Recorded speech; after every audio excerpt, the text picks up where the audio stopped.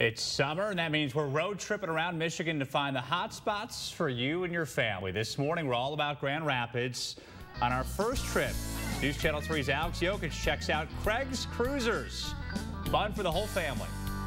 We're road tripping to Craig's Cruisers, a Grand Rapids hotspot known for go-karts, good times, and fast-paced family fun. Sometimes it's a struggle for families in the summer who have, you know, boys, girls, toddlers, teens, kids of all ages to find something that fits their entire family. Here.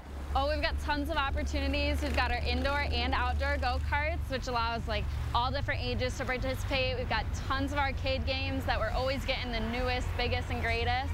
We've got our buffet, which offers such a great variety of food. We've got pasta, salad, pizzas. We've got our mini golf course. Let's do this.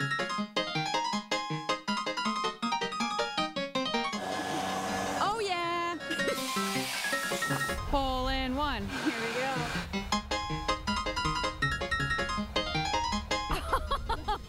Hole in one. You win.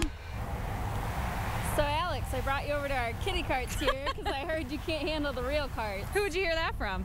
Oh, just a little birdie. Okay, well, just you wait, Mariah. All I'm right. gonna get in the big ones. We'll see about that. Go big or go home.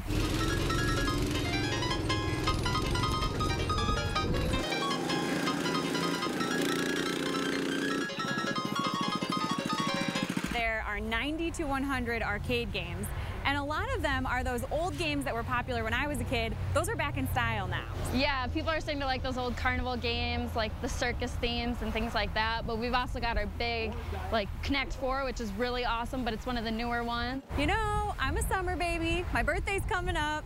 Mom, Dad, is this an option for me with my birthday? Oh yeah, definitely. Bring your friends here. Everybody will have a good time and you can play the game to get some activities. We have great packages available for everybody of all ages. So if you'd like to spend summer in the fun lane, just plan your next trip to Craig's Cruisers here in Grand Rapids. Of course, you can find everything you need to know by heading to the road tripping section of WWMT.com.